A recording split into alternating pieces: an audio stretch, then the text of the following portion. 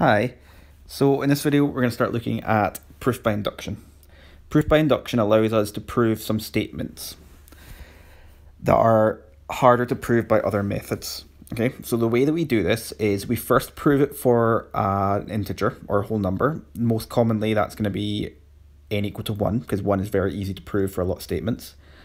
Then what we're going to do is we're going to do the inductive step, which is step 2, we call it that is where we assume that it is true for n equal to any integer.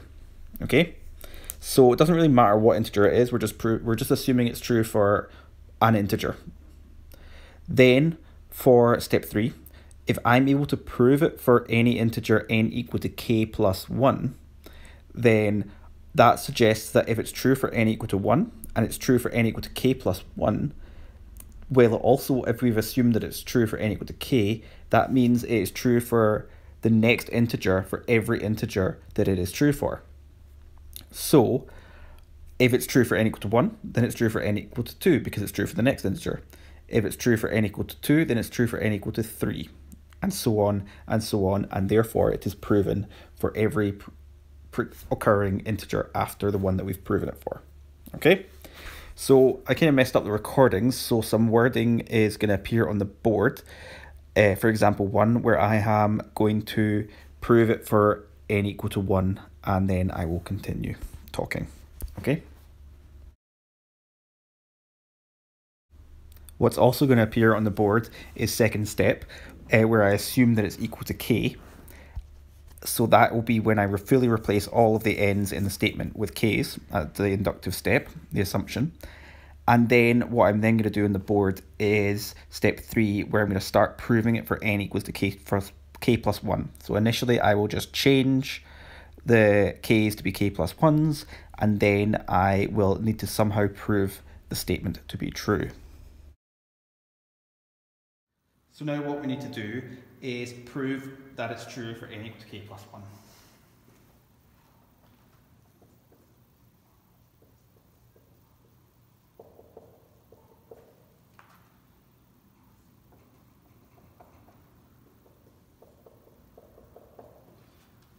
So now what we're going to do is we're going to expand all these brackets.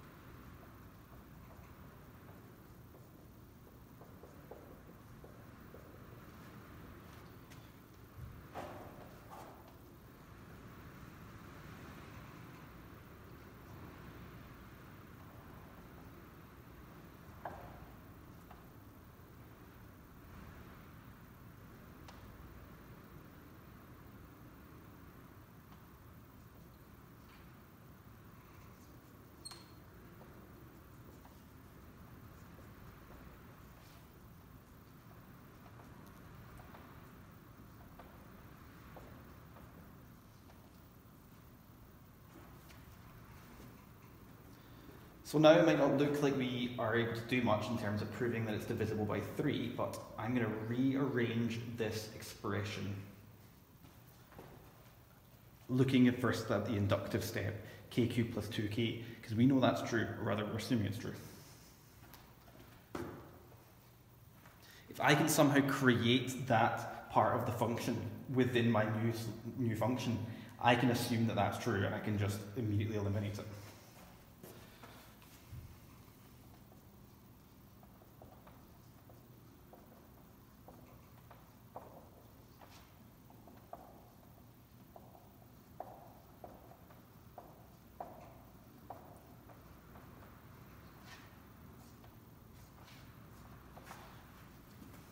So what I've done is I've split the k cubed plus 5k up into k cubed plus 2k plus 3k. And if you look at the inductive step, I know that k cubed plus 2k is divisible by 3.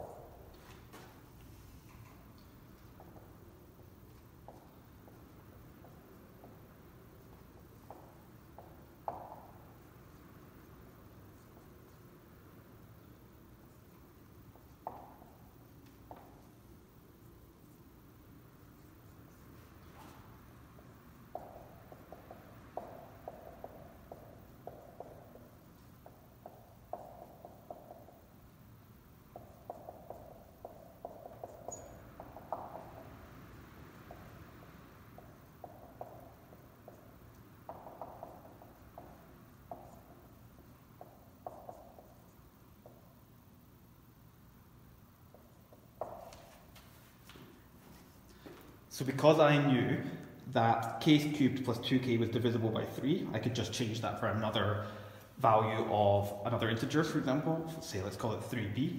That's divisible by 3. Substitute it back into the equation, and then I was able to take a common factor of 3 and then prove that it's true for all n equal to k plus 1, and then therefore true for all n greater than or equal to 1. So we move on to example 2. Quite a common style of exam question using the sum formulas and sigma notation. So let's first of all straight away explain what's going on. Prove by induction for all n of the set of natural numbers that the sum from 1 up to n of 3 bracket r squared minus r is equal to n minus 1 n n plus 1. Okay? So let's prove for n equal to 1.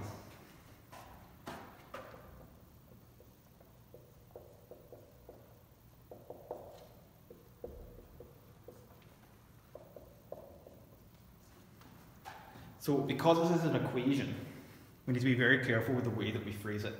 I cannot use the equal sign because I've not proven it yet. So let me take the left hand side and the right hand side independently.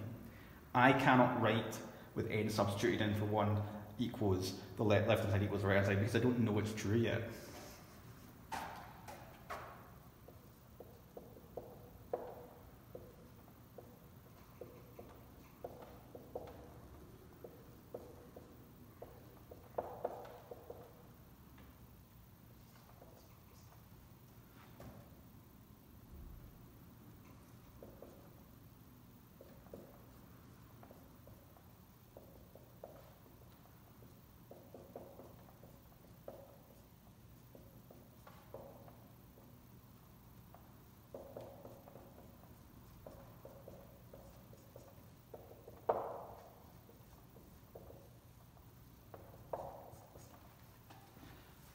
So I've proven it's true for n equals to 1 because we've got 0 on the left hand side and 0 on the right hand side. So now let's do our inductive step.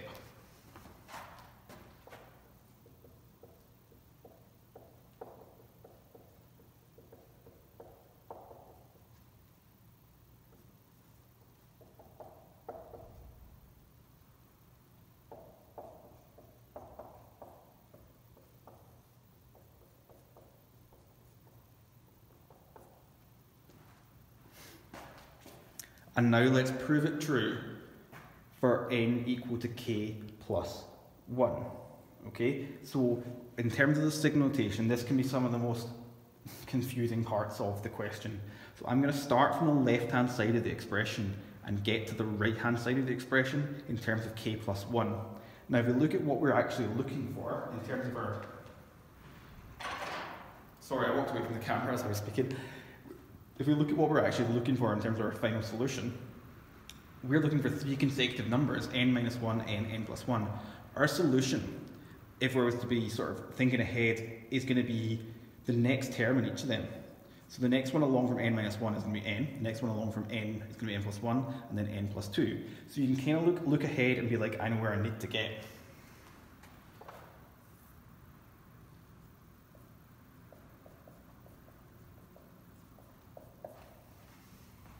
So we've always got that in our mind ahead that that's what I'm looking for in these sum notation ones. Okay, k, k plus 1, k plus 2. Okay, so now let's look at this. So let's start from the left hand side.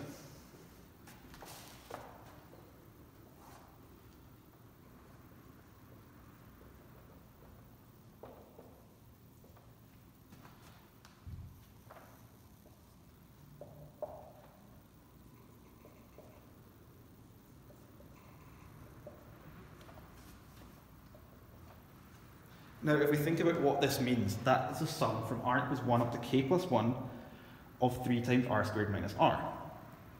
We could think of that as a sum of 1 up to k plus the k plus 1th term. Okay?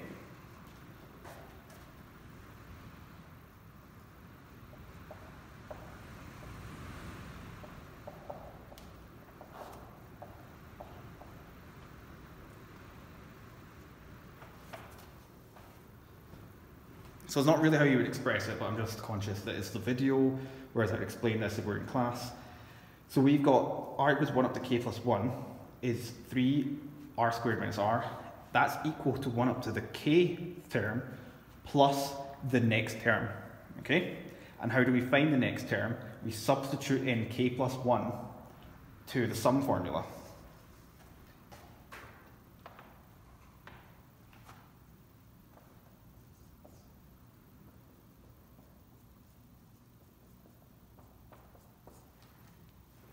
Okay. Well then this looks like a whole lot mess, but it's actually not. Because then if you check here, I've created a situation where I can just immediately replace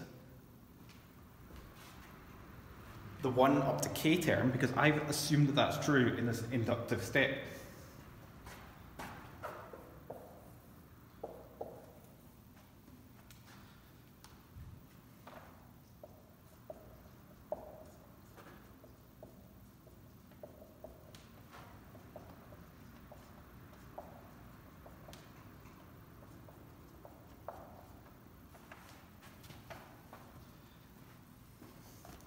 So, we're trying to keep remembering what we need to do up at the top right. That's what we need to get to. And we're, we're significantly closer now, you can start to see arriving. You could break out all those brackets, and I'm sure you'll be able to do that. It's just not the most convenient way of doing it. So I'll break it out kind of, and then I'm going to start looking for a common factor.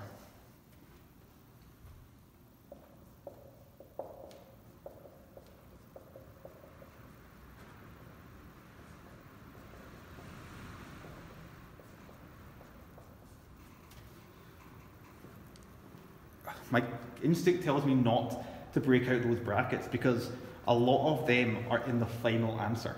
Why would I break them out?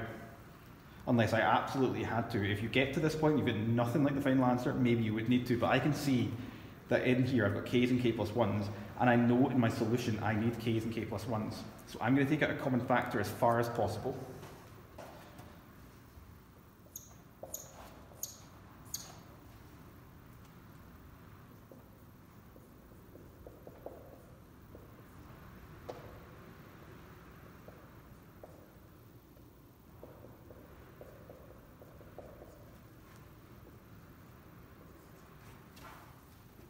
So we've got kk plus 1, I've taken that out.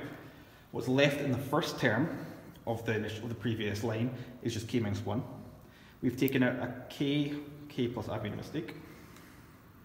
So my instinct tells me not to fully break out the brackets because in my solution I'm starting to get, I've got k's and k plus 1s.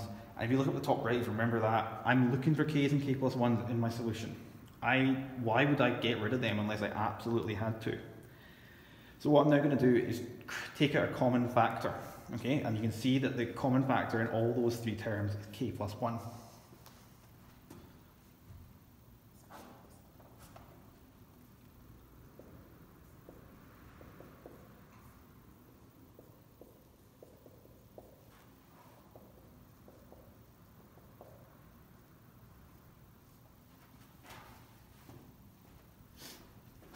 And now it might be an idea to break them out and refactorize, but it means it's a lot less work.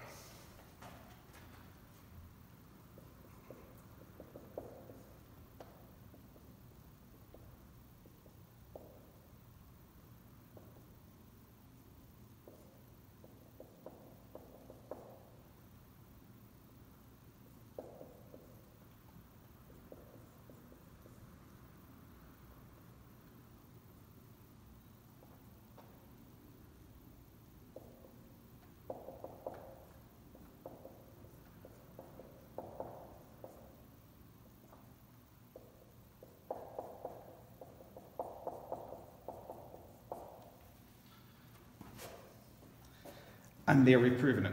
And just if I was to fully put it in the form of the original equation, equation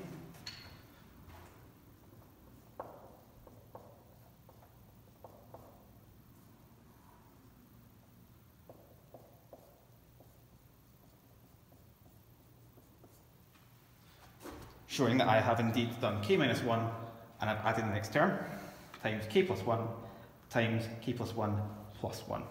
Okay, and then I'll do my sentences.